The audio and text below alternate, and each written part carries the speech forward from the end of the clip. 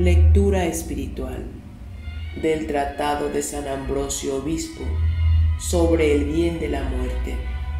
Dice el apóstol, el mundo está crucificado para mí y yo para el mundo. Existe pues en esta vida una muerte que es buena. Por ello se nos exhorta a que llevemos siempre nosotros por todas partes los sufrimientos mortales de Jesús para que también la vida de Jesús se manifieste en nosotros.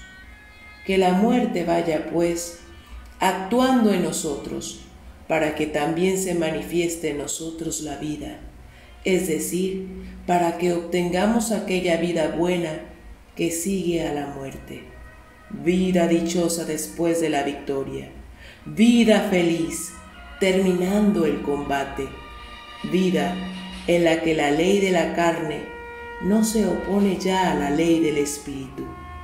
Vida finalmente en la que ya no es necesario luchar contra el cuerpo mortal, porque el mismo cuerpo mortal ha alcanzado ya la victoria. Yo mismo no sabría decir si la grandeza de esta muerte es mayor incluso que la misma vida pues me hace dudar la autoridad del apóstol que afirma, en nosotros va trabajando la muerte y en nosotros va actuando la vida.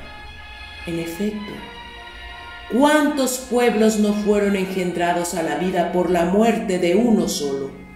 Por ello, enseña el apóstol que los que viven en esta vida deben apetecer que la muerte feliz de Cristo brille en sus propios cuerpos y deshaga nuestra condición física para que nuestro interior se renueve y desmoronándose la morada terrestre en que acampamos, dé lugar a la edificación de una casa eterna en el cielo. Imita pues la muerte del Señor, quien se aparta de la vida según la carne y aleja de sí aquellas injusticias de las que el Señor dice por Isaías. Abre las prisiones injustas, haz saltar las coyundas de los yugos, deja libres a los oprimidos, rompe todos los cepos. El Señor, pues, quiso morir y penetrar en el reino de la muerte para destruir con ello toda culpa, pero a fin de que la naturaleza humana no acabara nuevamente en la muerte se nos dio la resurrección de los muertos. Así por la muerte fue destruida la culpa y por la resurrección la naturaleza humana recobró la inmortalidad. La muerte de Cristo es, pues, como la transformación del universo. Es necesario, por tanto, que también tú te vayas transformando sin cesar.